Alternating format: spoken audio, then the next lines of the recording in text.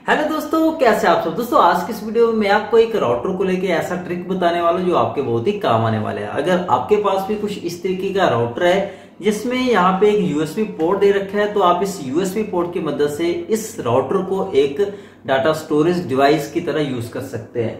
यहाँ पे आप हार्ड डिस्क का यूज़ कर सकते हैं डाटा स्टोर करने के लिए इस राउटर में, या इस पेन ड्राइव का यूज़ कर सकते हैं। तो दोस्तों, यहाँ पे देखो, ये मेरी पेन ड्राइव है। तो इस पेन ड्राइव में मैंने कुछ अपनी वीडियो स्टोर कर रखी है फ़ोटो डाउनलोड करके रखी है।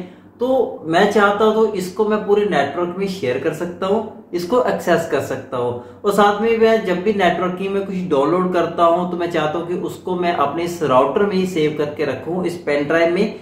तो उसके लिए मैं इसका यूज़ कर सकता हूँ। मुझे सिंपली करना क्या है, यहाँ पे ये जो यूएसबी पोर्ट दे रखा है मेरे इस राउटर के अंदर तो मुझे इसमें अपना डाटा स्टोरेज डिवाइस यानी कि पेन ड्राइव हो सकती है मेरा नेसबॉक्स हो सकता है, या मेरा कंप्यूटर हो सकता है हार्ड डिस्क हो सकता है, कुछ भी।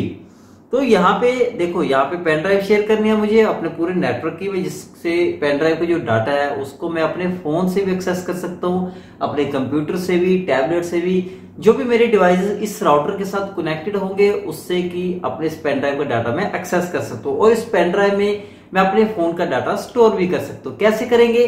तो सबसे पहले देखो, ये मेरा राउटर है दोस्तों। इस राउटर के यहाँ पे देखो आईडी पासवर्ड दे रखे होते हैं, जिससे कि इस राउटर की हम सेटिंग कर सकते हैं कॉन्फ़िगर कर सकते हैं, इस राउटर के साथ कनेक्ट हो सकते हैं।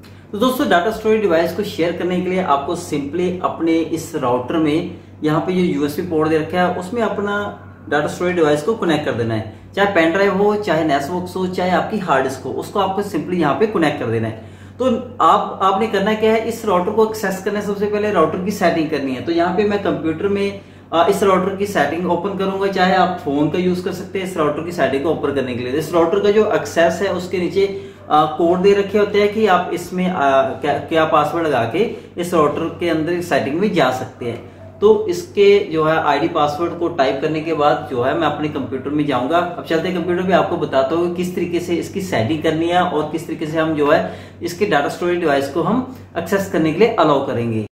तो दोस्तों, यहाँ पे मैं वाईफाई के साथ अपने इस कंप्यूटर को कनेक्ट कर चुका हूँ, जो मेरा ये राउटर है, जैन इसका नाम, ठीक है? अभी इसमें इंटरनेट नहीं चल रहा, लेकिन मैंने इसमें जो है सेटिंग करनी है अभी। तो यहाँ पे ब्राउज़र को ओपन करना है। ब्राउज़र को ओपन करने के बाद इसकी आईपी एड्रेस जो दे रखा है उसको यहाँ पे टाइप करना है। यहाँ पे राउटर को एक्सेस करने के लिए उसका यहाँ पे आईपी एड्रेस डाल करना है। One ninety two dot one six eight dot eight dot one यहाँ पर देखो बॉबे का आ गया राउटर का नाम। इतना करते हैं यहाँ पे देखो राउटर मेरा यहाँ पे एक्सेस हो गया है। तो यहाँ पे मैं इसकी सेटिंग में आ गया हूँ।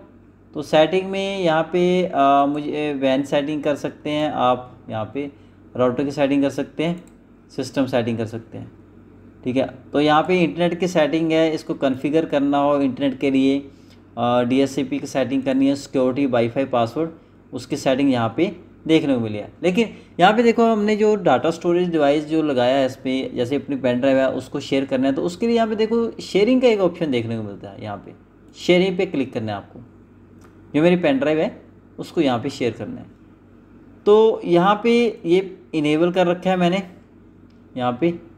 ये एक, इसमें सिम्बा नाम का सॉफ्टवेयर होता है सिम्बा सर्वर ये मेरे इस राउटर का एक फीचर है। जो भी आपको हो सकता है, आपके उसमें कुछ अलग लिखा हो।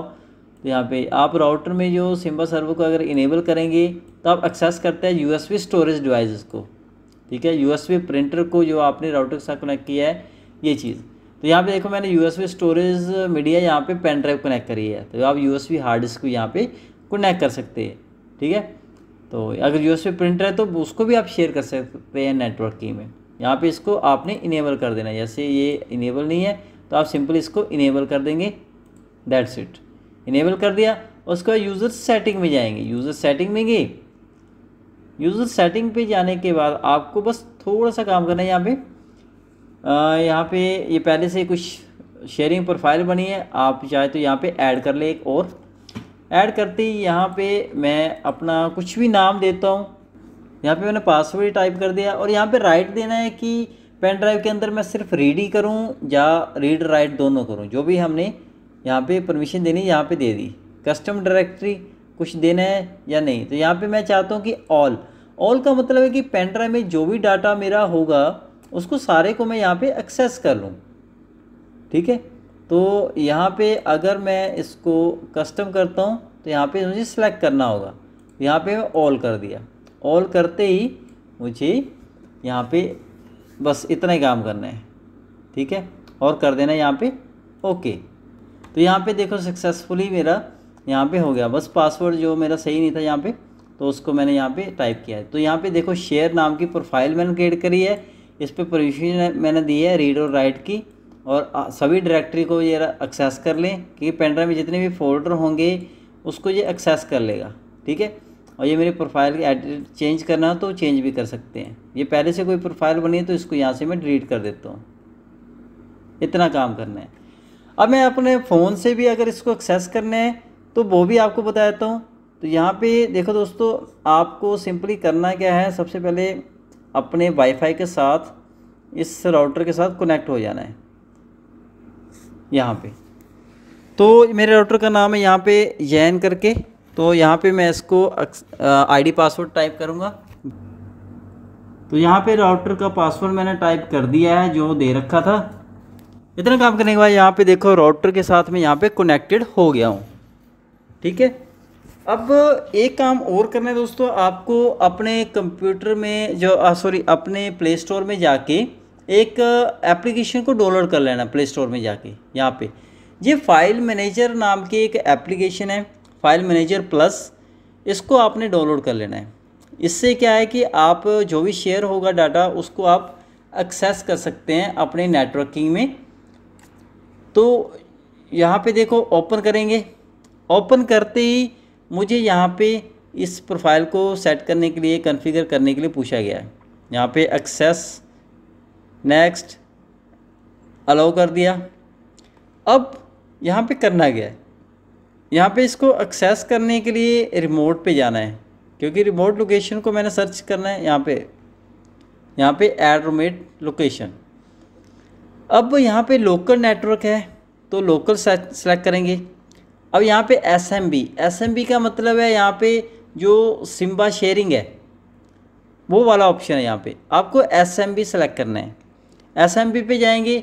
अब एस एम बी पे आपको टाइप करना है अपने उस राउटर का जो मेन पासवर्ड आया है यहाँ पे। देखो main I D I P है। जैसे ये मेरे है इसमें one ninety two one six eight eight dot one तो इस आई पी को आप यहाँ पे टाइप करेंगे। तो यहाँ पे टाइप करता हूँ one nine two dot one six eight dot eight dot one इतना कर दिया। अब जो मैंने वहाँ पे ये वाला नाम दिया था शेयर शेयर टाइप कर दिया। अब इसका जो पासवर्ड जो मैंने दिया था, ये टाइप कर दिया देन ओके okay कर दिया। अब यहाँ पे देखो शेयर नाम की प्रोफ़ाइल मेरी ये ओपन होगी।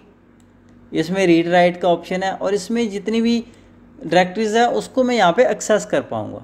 सिंपल ही। इसको किया मैंने ओपन यहाँ पे देखो यूएसबी में मेरे कुछ फोल्डर और भी हैं।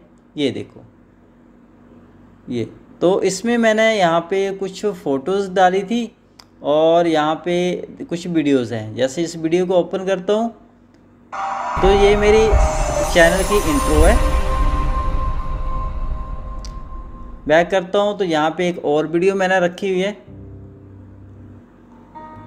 ये मेरी फेवरेट वीडियो है। इसी तरीके से यहाँ पे देखो मैंने फ़ोटोज़ भी रखी हैं। तो ये सारी चीज़ें मैंने इसमें सेव करके रखी हैं। ये मैं अपनी पेन ड्राइव को यहाँ से एक्सेस कर पा रहा हूँ। ठीक है? इस तरीके से। अगर मुझे अपने फ़ोन का जो डाटा है उसको अपनी पेन ड्राइव में स्टोर करना है तो उसके लिए मैं करूँगा क्या? यहाँ पे देखो आ, कुछ वीडियोज़ है। तो मैं चाहता हूँ कि इसको मैं अपने उस पेन ड्राइव में स्टोर कर लूँ। तो सिंपली यहाँ पे इसको सिलेक्ट कर लिया मोर पे चले गए शेयर पे चले गए। और यहाँ पे मुझे फ़ाइल मैनेजर को ऑप्शन को सिलेक्ट करना है। जहाँ कहाँ सेव करना है? यहाँ पे उस लोकेशन पे चले जाना है। यहाँ पे मेरी पेन ड्राइव है। और यहाँ पे मुझे इसको सेव कर देना है। ये देखो सेव कर दिया। सिंपली अगर आपको अपने कंप्यूटर से उसको एक्सेस करना हो पेन ड्राइव को तो उसके लिए सिंपली आपको करना क्या है?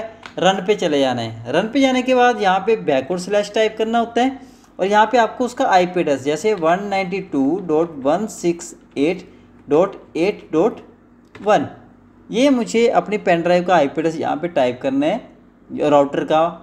उसको यहाँ पे ओके तो दोस्तों, यहाँ पे देखो, जो भी डाटा से मैंने शेयर शेयर किया था पेन ड्राइव का, वो यहाँ पे शो हो रहा है।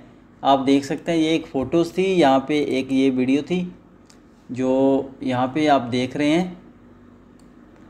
ठीक है, यहाँ पे मैंने अपने चैनल की इंट्रो यहाँ पे सेट करी थी। वो है। और जो मैंने अभी अभी ये पेन ड्राइव में अपनी जो फ़ोन की वीडियो सेव करी है, वो यहाँ पे शो हो रही है। तो दोस्तों, देखा आपने कितना आसान था इस राउटर की मदद से अपनी डाटा स्टोरेज डिवाइस को शेयर करना। तो यहाँ पे मैंने आपको पेन ड्राइव को शेयर करके आपको बताया है। तो इस पेन ड्राइव को मैं आप इजीली अपने फ़ोन से भी एक्सेस कर पा रहा हूँ, अपने कंप्यूटर से भी एक्सेस कर पा रहा हूँ। इस तरीके से आप अपनी हार्ड डिस्क को भी शेयर कर सकते हैं। उम्मीद करता दोस्तों, इस वीडियो से आपको ज़रूर सीखने को मिला होगा। वीडियो अच्छी लगी हो, इसे लाइक करें। साथ में मेरे चैनल को सब्सक्राइब करना ना भूल। मिलते एक और अच्छी वीडियो के साथ। तब तक अपना ध्यान रखें। Thanks for watching